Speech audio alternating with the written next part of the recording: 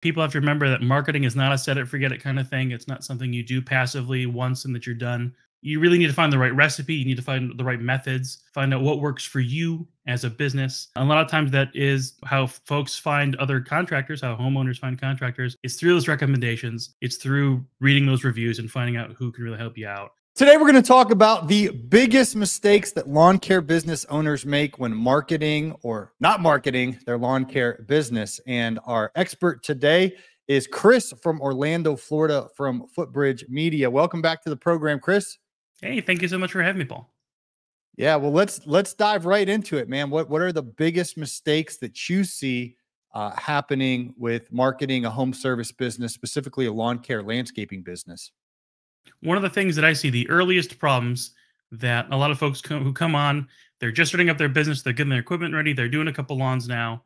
The biggest mistake I see is people wait to start their marketing. They think that it's a back burner thing. They think, well, I'm going to get some work in first, going to get some customers behind me. But really, it's better to start as soon as possible, even before you mow your first lawn, if you can. You know, a lot of people think about uh, making money in retirement. That's something people talk about a lot. You got to put away money early. And people say that because over the years, you have compounding interest. That's the thing where you put in that little bit of effort at the beginning, and over time, it grows and grows and grows, and you get a lot of value out of that little bit of effort you put in the beginning marketing absolutely can work in the same way. If you put in that early marketing work, that hard work, you lay the foundation for strong digital marketing, for print marketing, having a good logo, having good signage on your vehicles, all of that early on pays off. On the web, uh, organic optimization and local optimization, they take time to catch up to your competitors. If you put in an effort early, as early as you can, that will grow over time and you get that compounding interest, that compounding effect where you can really get a lot more bang for your buck from your website the longer that it's been up and the longer you've had a successful base for search engine optimization and for growing your business. That's really good. When we were talking off air, you said you you you basically pinpointed the four, you know, biggest uh, mistakes and and things of that. So why don't we start getting into the details of specifically what to avoid? Yeah, absolutely. I mean, when you're avoiding that marketing, the the, the four points there is you don't want to not wait for your marketing. You want to you want to make sure you're thinking of marketing as an active thing. Marketing is not a set it and forget it setup. You also have to realize that reviews don't just happen. Uh, a lot of folks sit back and, and relax, but reviews are a, con- a, a concentrated effort, something you've got to do on purpose to make things happen. And the last thing is you have to make sure you have more than just a single page website. A lot of folks think that that's just enough. Uh, you can't have just that one little presence. You really have to expand your presence on the web to capture the traffic that you need. So we're talking about making those mistakes of, of missing the opportunity for marketing. When you're putting effort into a business, you're putting in marketing effort, you're putting in uh, effort into customer service, you're putting marketing effort into advertising. You're always spending time or money And usually a combination of the two. When you're putting more time in earlier, that's when you really get the most bang for your buck, the most benefit for your business. And it's hard. I absolutely get it. Contractors and lawn care folks are very busy with their day-to-day operations. It's hard to focus on today and tomorrow at the same time. That's one of the biggest mistakes is not putting forth that effort to realize that if you're just mowing lawns, then you're just kind of giving yourself a job. If you're out there and you're finding more ways to expand your business, to get more people to help you out, to get more resources to make work easier for you and life easier for you, that's when you start to run a business. And that's really the difference between having a lawn care job and running a successful lawn care business from a marketing and operations standpoint. That's so good, Chris. I want to uh, dive a little bit deeper on this one page website. Uh, what is the proper way that a lawn care business uh, website can, you know, simply share with the world? Here's, you know, who we serve, how we serve you, how you can get connected with us. Like, what's the best practices? And if somebody says, you know what, Paul, I want to build my website right, I want, I want to have it fully optimized, doing it the right way. Uh, we know it's not the one page, you know, little simple website, but what what's the proper um, best practices uh, for that website to be fully optimized uh, to reach your potential as a lawn care business? Sure. You know, beyond that homepage, that one single page, there's lots of small pages that kind of aggregate and build up to a really successful online uh, presence. So, from a people standpoint, for what people want to see, you want to make sure you've got a strong about us page, something that tells your story.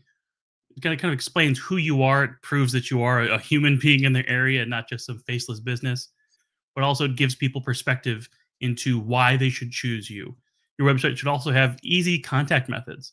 Uh, if you don't have good call to action on your website, on any single page, on the homepage or any of the pages that you build, it's going to make it harder for people to reach out to you and get a hold of you. Your goal on your website is to present people with information and to make it as easy as possible for them to contact you. So, as far as that information goes, you want to make sure you have a page on your website dedicated to every single major service that you offer.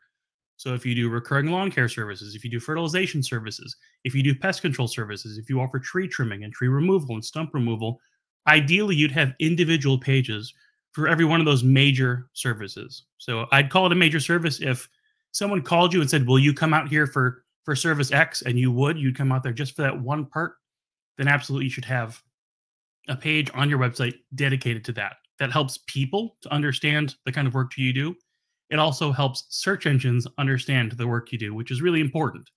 Those pages are really good targets to help search engines understand the context of your business so that when someone does a search in your area and they say, I'm interested in recurring lawn care services, you can have a page dedicated to getting Google's attention for that specific key phrase. Uh, again, it helps people and websites and, and, and, search engines to understand you better and helps showcase your work. It helps really prove and show off the kind of stuff that you can do. The same goes for any major cities that you service in your area. Some folks get a little standoffish and they think, well, do I have to list every neighborhood, every city that I work in? Ideally, over time, you would you may want to do every city that you that you could possibly visit, but start small. Start with you know the core 10. What are the 10 cities around you? the places where if someone called, you'd say, absolutely no doubt, I will come out and I will service you. You should create pages that are focused on basically that city and lawn care or whatever, or your your core focus is landscaping. Uh, those are again good targets for people and good targets for search engines to understand the context of the service you offer, so that both search engines and people don't hesitate to recommend you or to see you as the expert they need. That's good. Next up, I want to pick your brain here, Chris, on the the reviews. Um, in my specific um, situation, I used to have a lawn business in Atlanta and tried to drive reviews for that. I recently moved to Florida, and I'm focusing more on serving my audience now, and you know, hel- helping lawn care business owners and, and, and, business owners in general prosper with a purpose. Um, but I still need to get reviews on my podcast and on uh, Apple Podcasts and on Spotify. So, so whether you're trying to get reviews for a podcast or you're trying to get reviews for a fertilizer business or a lawn business or a landscaping business, I mean that is so important to to build that credibility online that we are rock stars, that we you know serve our customers well, or in podcast land that we serve.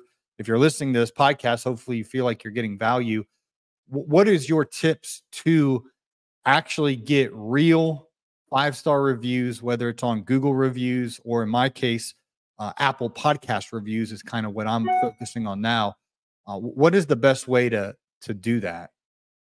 I think the number one thing that people are, you know, from a content creation standpoint for podcasts and for videos, and also from a, a contractor standpoint for lawn care companies, people are sometimes afraid to just come out there and ask. I think asking for the review, no matter what the context, uh, I think that's the easiest way to really engage people. When you can look someone in the eye, digitally or in person, and say, "We could really, we could use your help if you could help us out by leaving us review." You know, we're a small business, we want to grow, or we've got a great message and we want to share it with more people, or we've got great cheeseburgers and we want more people to eat our cheeseburgers. No matter what, making that ask and having a sincere conversation, even if it's one way through content delivery, uh, that's key most people don't realize the power that they have there. And if anyone has been positively impacted by the work you do or the product that you deliver, or the service that you render, if they're really happy with you, they will have no problem taking the time to leave you that review. They just need to be kind of spoon fed how to do that. So, you know, for podcasts or videos, if it's for Apple Podcasts, you would say, hey, if you're listening to us, we'd really appreciate you leaving us a review on Apple or on Spotify or wherever you hear us. Uh, it really helps us to grow our reach uh, that really helps people make those asks in YouTube videos all the time. Like, comment, and subscribe. You hear that kind of language a lot. And they say it because it works, because people actually do those things once they're asked to do it. Same thing with contractors and lawn care providers.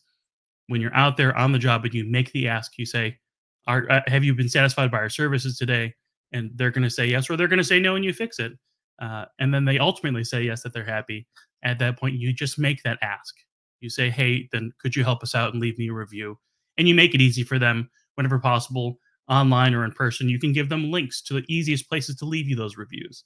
Again, it's it's kind of like spoon feeding that information to them. You want to make sure it's in their brain that they know that reviewing would help you and then you want to give them the tools to make that easily happen. So for contractors, that's review management system where you get text messages and emails sent out to your customers to get them to leave your reviews. Uh, Footbridge uses Birdeye as an example. That's the service that we use to try to get more reviews. Uh, for YouTube and for podcasts, dropping links in the show notes to make it easy for someone to leave a review. That's the easiest way to get it. Again, spoon feeding that information, making it where you're reducing the hurdles as much as you can and getting that review. I appreciate you sharing that, Chris. And I, I think as you gave the answer, it convicted me about the asking part. I, have just been shy and I've been timid, and people are busy. You know, pe- folks are running their business. A lot of guys that listen to me, um, you know, have marriages and children in addition to all their employees and uh, business. And so the last thing they're thinking about is, oh, Paul's podcast was great today. Let me go leave him a five star review on Apple Podcasts. It, but you got to ask. And I listened to uh, the Dave Ramsey show about getting out of debt pretty consistently.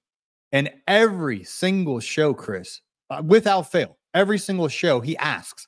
And I actually memorized his little spiel because he's like, our only marketing team is you. And you know, leave us a five star review. And he and he he but it but they have it, they must have like a script for their show because he does it 100% of the show if you listen to the Ramsey show, they're going to ask you to go leave a five star rating and review.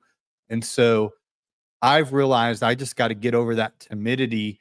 Um, even if I don't do it every show like Dave does, if I got to just start doing it more because I haven't been doing it in a while. And honestly, I feel like eh, I'm thankful we don't really get that many bad reviews, but I feel like the only time people do leave a review is when they're irate about something and they'll they'll they'll take the proactive approach if they you know, have cold pizza or lukewarm coffee or whatever upsets them.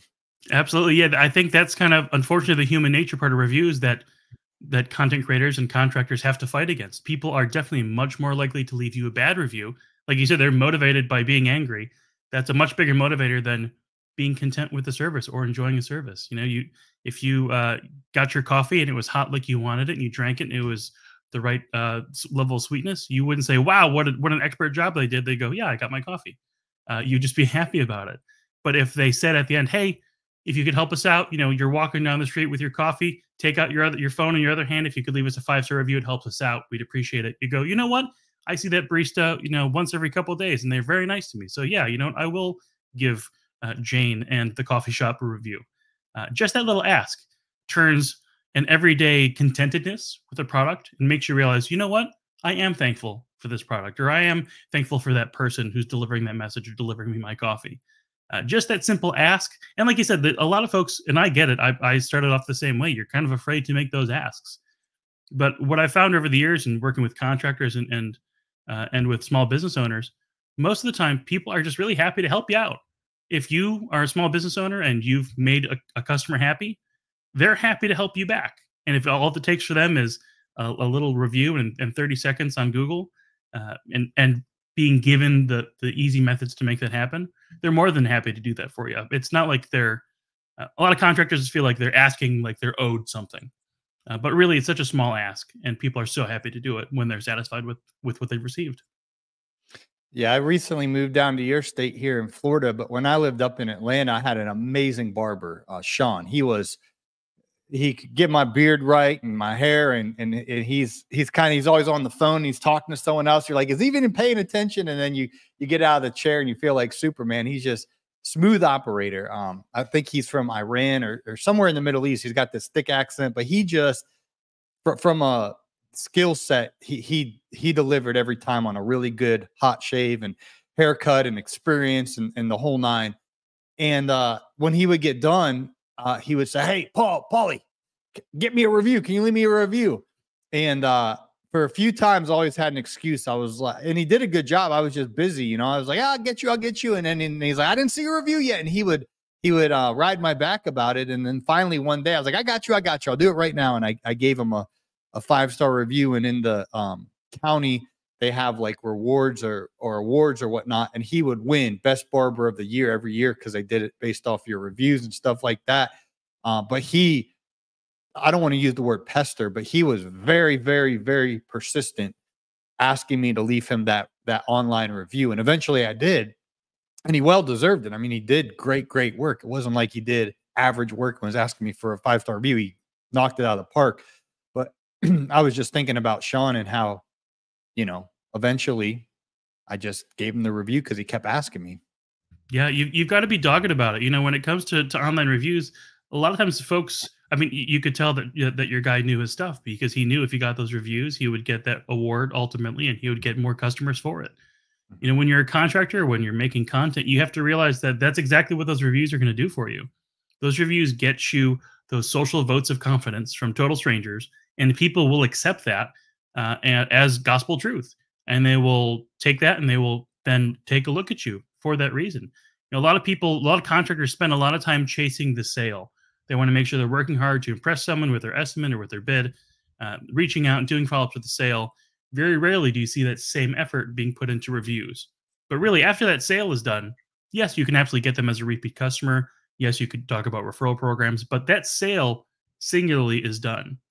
If you can get a review from that same customer, that review will be online in perpetuity as long as they've got that Google account or, or Facebook account or whatever account. That review will be there as a record of that company, uh, of that customer, as a vote of confidence for you. And that will influence future people in making a decision about you. It's a very cyclical thing. If you can get 10 customers to leave you a review, that gets you more customers. Those more customers give you more opportunities for review. And that's why you see lawn care companies that ultimately have hundreds, and I've seen some with thousands of, of reviews online. And again, it's that aggregate impact. It's that you're making that ask on a consistent basis to grow your business. And those fo- those are the folks that realize my online reviews can help to take my business to the next level, not just in helping to influence people to trust me, but also influencing search engines or influencing, you know, how Apple Podcasts generates their featured uh, their featured podcasts. Those votes of confidence can really help to to be a boon to raise up your content or your business in your community. Very well said. Well, Chris, I want to uh, switch gears a little bit. I think you hit a grand slam there on on uh, how to how to get good reviews online. But uh, next, I want to talk about if somebody's ready to get a website, how easy you guys make it, and what that onboarding process is, and what it's like to have Footbridge Media make your website world class. Like, just walk us through. Someone's out there and they're like, you know what? uh, I need to get on top of getting better online presence. I need to get a better website. You know, I've heard Paul and Jason Creel and Aaron Parker and all, all these guys talking about uh, Footbridge Media. Um, what's it like reaching out to you to actually getting the the website live and um, launched? Yeah, we try to make the process overall as as easy as possible. We know the contractors are busy. There'll be some times where we really need you to help out, but as much as possible, we try to make it uh, we try to shoulder as much of the burden as possible. So when you first get signed up, we send out an information packet to you, basically just a quick snapshot of who you are, what you do, the services you offer, the cities you want to target. Again, so we can kind of put the structure together for your website design. Uh, you'll be introduced to our onboarding manager. They'll then reach out to you. They'll they'll talk to you about the information packet, and we deliver a design sample, a design proof of what your website is going to look like. Usually, that happens within just a few business days of you giving us that information that we need. Uh, once you get the design proof over to you, we take some time to review it. We make adjustments and tweaks as you see fit. And once you approve that design, then we continue with the rest of the content development and creation. So on the Footbridge Media side of things, we write all the content for you. Of course, if you have input, if you want things you want to include in your About Us page, or specific things about your processes of how you work, vendors that you use, specific equipment or product that you use that you want featured, we'll absolutely include that. But for the most part, we do all that heavy lifting. We write the content for our contractors. Uh, we prepare the, the websites in an optimized manner and we build that site out from your design approval to your site launch. Usually just takes a, a couple weeks, usually three to four weeks, depending on the site size and all that. Uh, and in that time, you're also introduced to our marketing consultants team. Our citations folks work with you. Those are the folks who help your Google business profile, uh, whether it's claiming it or uh, making sure we've got access to it to optimize it ultimately that means your website launches with all this fresh content. Your Google business profile is up and optimized. And then you start to work with our review management system and with our marketing consultants. Once you get to the marketing consultants, that's, I think, the best part because they are your go to contact, not just for websites, but really anything marketing and business development. They can help point you in the right direction, whether it's an additional service that we offer at Footbridge Media or whether we make an outside recommendation for things you can do that cost you no money that can help you to build your business, to help you to gain more exposure. In a nutshell, that's it. We, we take you from zero to 60. We make sure we take care of your content design, your website design, writing, site building, all in an optimized way, all in a way that, as much as possible, we remove that burden from you. Uh, and then you get to launch live, and then we get to work together on that continued collaboration to continue to build the site, to continue to build your online marketing presence. Love it. And in the show notes, uh, there is the link for a discount uh, to Footbridge Media. Uh, as a listener the Green Industry podcast, we'll hook you up there. So just click on that link in the the description. Uh, real quickly, Chris, I want to bring up you guys made Jason Creel's website for Alabama Lawn Pros. I want to share it with you and just kind of have you um, walk me through, uh, you know, what what something looks like when um, one second here. There we go. Can you see my can you see Jason's website or yep. no? Yep, I can see it there. Okay, one second. Let me get you uh let's do this right here. Let me know. Can you can you see it now? Yep. Okay. Yep, I can see it there.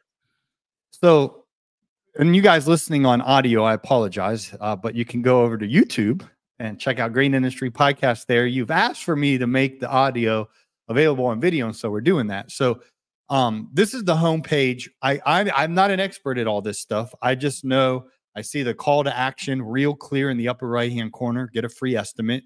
Um, I see a picture of Jason, so you know, okay, it's a good old Alabama boy who, who, who runs this company. I see, you know, the services that they offer. I see more call to actions. I mean, this looks like a really good home page. Um, walk me through what you're seeing here. Yeah, absolutely. You know, we like you said, the call to actions are really big one there. Some folks they just want to load a website and they want to see that something really exists there. It's usually a little stamp of approval that you're indeed a, a company uh, and that you exist. But yeah, after that, we want to make sure we're featuring things that make you realize that you've landed to the right spot, in the right spot. So we're talking about the services that we offer. We're we've got a clean, crisp design. It looks like a fresh website. You can see the map, so you can see yes, they actually work in my community.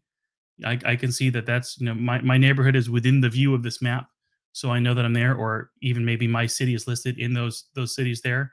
And then as far as the applications for lawn care, we can see these are the steps that I can have taken on my property. I can get some questions answered. I can get some fresh information. Uh, if I want to click around, if really I'm just kind of interested and maybe maybe I came here and I landed here because I'm trying to figure out how to do it myself. I can get some blog tips uh, that show me, yeah, you could maybe DIY it, but ultimately it shows it's difficult and maybe a professional would be a, an easier way for you to take care of this. So yeah, the, the goal with that website, with that homepage is to remind, is to reassure people that they've come to the right place.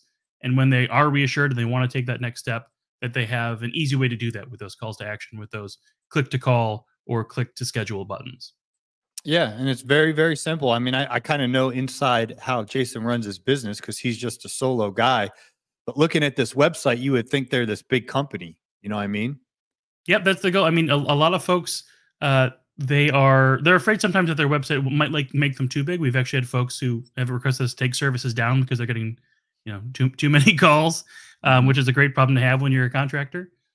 But yeah, the goal is to make it so that it it's a the website's a good encapsulation. It's like a little salesperson for you, and it educates someone. You know, if someone were to call you, they could, this website should answer every question they can ask you.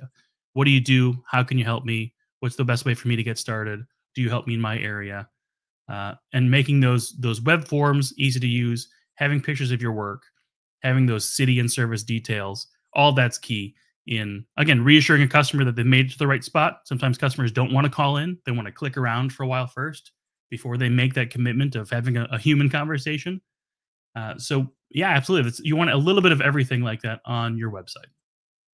Yeah, well, you you guys did a really good job, and again, I know Jason, guys. He's just a good old Alabama boy from the backwoods, Alabama. There, and this website makes you think they're this big Alabama lawn pros or this big company in Alabama, and you know, um, Nick Saban's probably going to get out of the truck and spray your yard. you know? uh, but also, I like the the phone number right there. You you call that. I'm not going to read out the number, but you call that number, and and, and Jason's going to pick up. I, I hang out with Jason. He answers the phone. He's Alabama Lawn Pros, and and uh, again, I'm not saying you have to be solo and proud like Jason. Even if you run a bigger company, um, this this is how, you know, this is what you can expect if if Footbridge Media uh, creates a website, you just feed them, you know, your picture like Jason's. I, I love this, Chris, is that you got pictures of Jason right here. Mm-hmm. A lot of these websites I look at, it's too much stock footage, and and here, I mean, that's Jason right there in his. Uh, I know his house. That's he's actually in his driveway in that picture. Um, and it's very clear. He serves Trussville, Gardendale, Kimberly, um, Morris, Alabama, and uh, this is just very very clean organized. So if you guys want a website that looks like this, um, all you have to do is click on that link in today's show notes and get connected with Sam and the onboarding team there and uh, get you a website made. So so really good job. Your your team does does great work. And um, I was actually griping to Jason a few years back about you know my audience i want to serve my audience. If you listen to the green industry podcast i want to share with you hey here's the best crm here's the best trade shows to go to in the events here's the best banks to bank with here's the best bookkeepers who ironically i found there in pensacola florida the, the landscaping bookkeeper where you guys are based out of. But i was complaining to jason i was like i can't find a good website company. Like i've recommended a few and they've I, you know, my listeners would call me back and be like, "Hey, didn't do a good job, Paul." I was like, "Oh man, I'm sorry, I'm sorry, I'm sorry." I'm like, "Let me keep searching here." And I was talking to Jason. We're out playing golf, and he's like, "I found them, Paul." He's like, "They're down in Florida, Footbridge Media. You gotta, you gotta check them out." So I was so wounded from these other experiences. I literally got in my truck and drove down.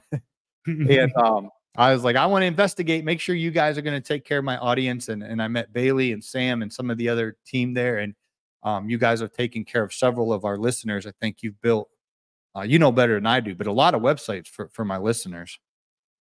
Yeah, I mean, we're, we're very, like you said, there's unfortunately a lot of a lot of uh, bad players out there when it comes to marketing. A lot of folks who unfortunately don't necessarily walk the walk and talk the talk.